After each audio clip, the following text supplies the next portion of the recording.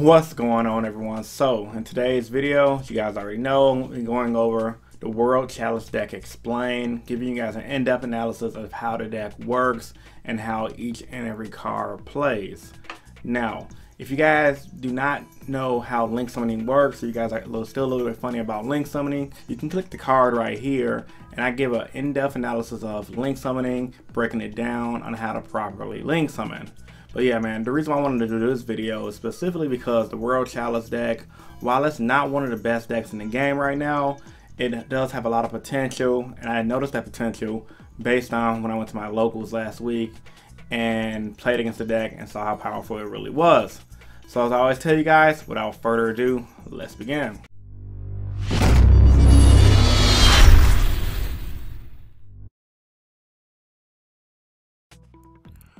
Alright everybody, so as you guys already know, this is the World Chalice Explain and in-depth analysis to the deck. And like I said in the intro, I'm just going to be breaking down every simple thing that this deck has to offer as far as the monster effects, how they interact with each other, etc, etc. And I will also be showing a pretty good replay showing off the deck's power. So let's begin starting off by saying, why is this deck good? The deck is good because of three reasons mainly. It's fast and spammy. It's Konami's first link deck, meaning it's over time it's just gonna get better. Um, we have evidence to this due to decks like Qliphort, where when they first came out, they were good. They just weren't meta right away. Then over time, they got better and better until Konami finally decided to hit it with the, the ban hammer. And from playing against the deck personally myself, it has a great grind game the normal monsters. Now, the World Chalice deck is pretty much a normal monster based deck that go into the combos with effect monsters and they u pretty much all utilize the link mechanic. So you have the Crown by the World Chalice right here. She's a two-star spellcaster normal with a beefy defense of 2100.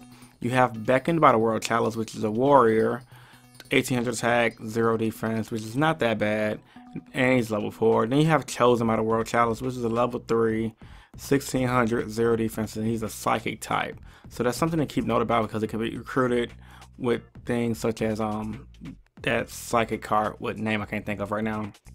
But for the most part, all of these normal monsters make the deck what it pretty much does because they all go into some of the main monsters, which we'll be getting to in the later of this video. The effect monsters. Now, all of the effect monsters pretty much seem to have their tutoring, searching, or spamming abilities. World Chalice Guard Dragon right here. Effect pretty much reads, when a card or effect is activated that targets your linked monster, this is a quick effect. You can send this card from your hand or field to the graveyard, negate the activation, and if you do, destroy that card.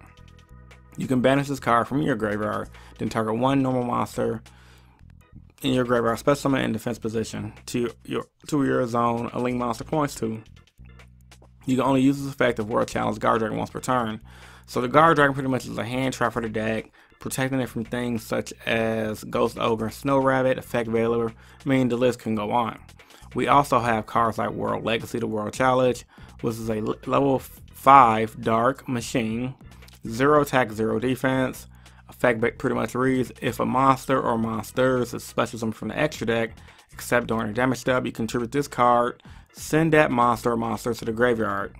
You can only use the effect of World Chalice Legacy once per turn. If this face-up normal summon slash set card leaves the field, you can special summon two World Chalice monsters from your deck, except World Chalice, World Chalice Legacy.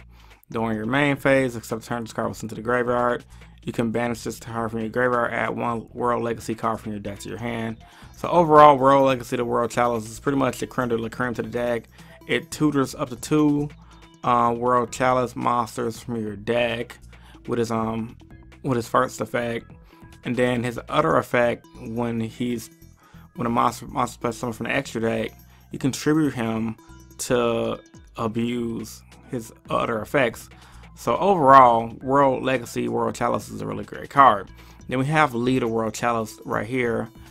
The Lee is a level 2 fairy, light.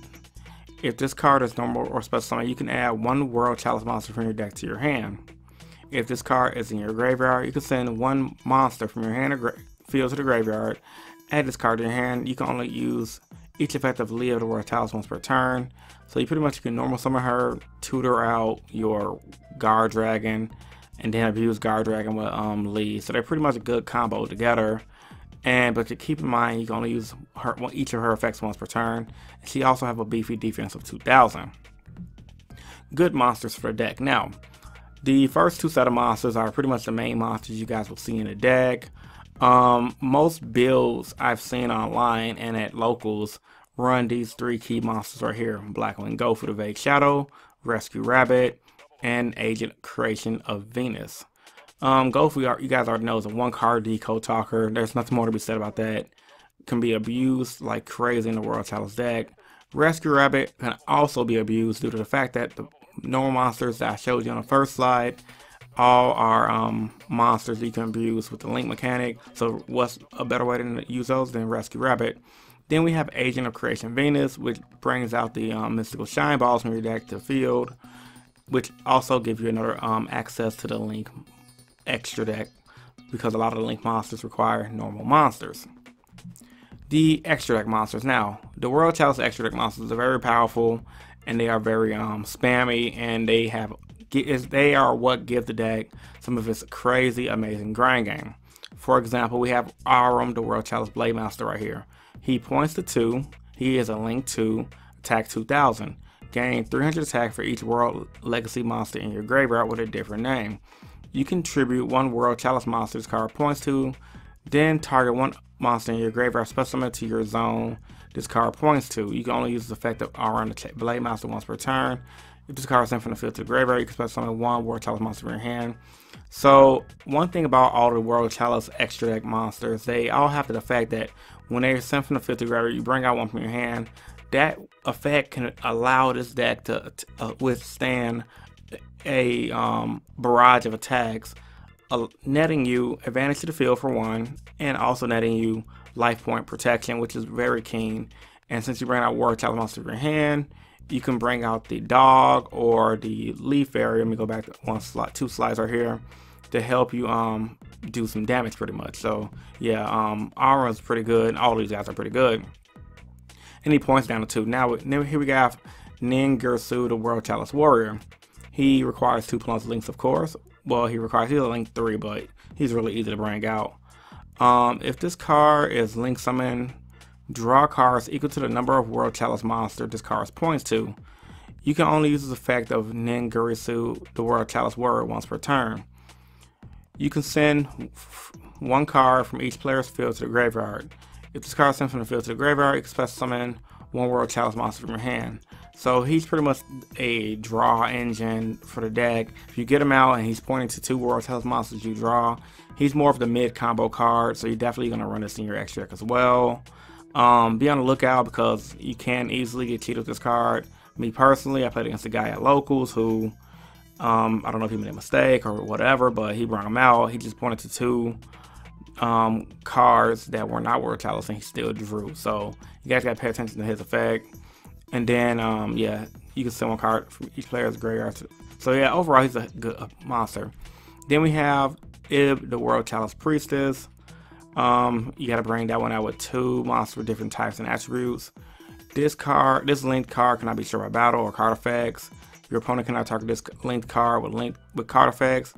If a monster monsters, card points to a destroy by battle effect or card, you can send this card to the graveyard instead. If this card is sent from the field to the graveyard, express like one word. So yeah, they all have the same world chalice effects, and she pretty much helps protect the deck and lock down that um, deck. Now, extra deck continue. This pretty much um, finishes up what the deck extra deck usually runs. And of course, they run Decode Talker. I just didn't want to make a whole slide dedicated to Decode Talker. You guys already know how powerful Decode Talker is. They run a Link Spider to help start off their zones. And they also run the um, Book the World Chalice Dragon, who's pretty much effect pretty much reads during your main phase. You can normal summon one World Chalice monster in addition to your normal summon set. You can only use that effect once per turn at the start of the damage step. The card battles an opponent's monster. This card points to you can destroy that opponent's monster. This card from the field to the graveyard. Expect some one Chalice monster from your hand. So overall, another good card. He helps um, locking out your opponent's extra deck with the extra link. Very viable. Him and Link Spider just completes your um extra link combo. Then of course we have the broken firewall dragon. Once you bring him out, you guys already know he's gonna do some damage. Once while he's on the field, can, it's a quick effect, meaning it can be used during either player's turn. You can target monsters on the field or graveyard up to the number of cards he points to and return them to the hand. I gotta tell you guys, that effect is very, very annoying. If a monster's card points to the of battle and sits the graveyard, expect summon one monster from your hand. So, even though he's not World Chalice, he pretty much floats well with the deck because he pretty much does the exact same thing they all do. Now, the spells. This deck pretty much runs a grand load of spells, but for the most part, I'm going to keep it simple with some of those basic spells they run. We have Unexpected Dai, if you control normal monsters, especially one level 4 lower normal, uh, normal monster from the deck. So that's good because you can bring out the um, guys I showed you in the first slide. Do you have World Legacy's Heart? Target two World Chalice monsters in your graveyard different names, add them to your hand. If your linked monster will be destroyed by battle, you can banish the card from your graveyard instead. So giving you more protection and adding and more hand control by adding cards from your graveyard to your hand.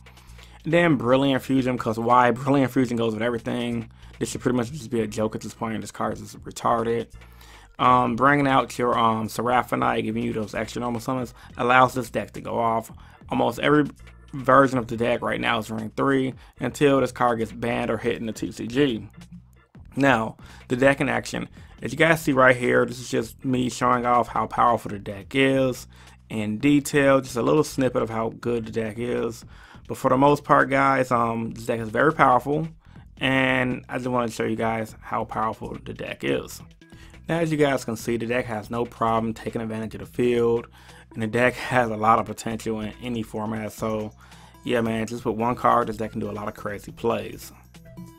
Now, a good starter list to go by. Now, I got this list strictly from Japan in the OCG. You guys already know my motto. If it's good in the OCG, 9 times out of 10, it can be pretty much good in the, in the TCG. You can cross promote each other because TCG players, we get a lot of our ideas from the OCG and vice versa when the OCG get their stuff from us. Now, granted, you can't just take this, you got to take this list at face value because there are a lot of cards in this list that they have that we don't have. Like, for example, they still have Pot of Avarice and they also have things like you know Harpy's Feather Duster, they have Monster Born, and they have Rescue Rabbit at two. But we can kind of take this list, add a Brilliant Fusion, and mold it into our own. Alright guys, so I hope you guys enjoyed the video. If you did, get a big thumbs up. If you guys would like to see more episodes of the Explain series, you guys can click this icon right here. This is going to give you guys a list of all my Explain series where you can guys check them out one by one. A very popular one is my True King Dinosaur Explained series, and that breaks down that deck. As you guys already know, it's probably one of the best non-link summoning decks to play. So with all that being said, guys, subscribe if you haven't. This is Chris from Innovation Yu-Gi-Oh! and I'm signing out. Peace, guys. Stay innovative. Deuces.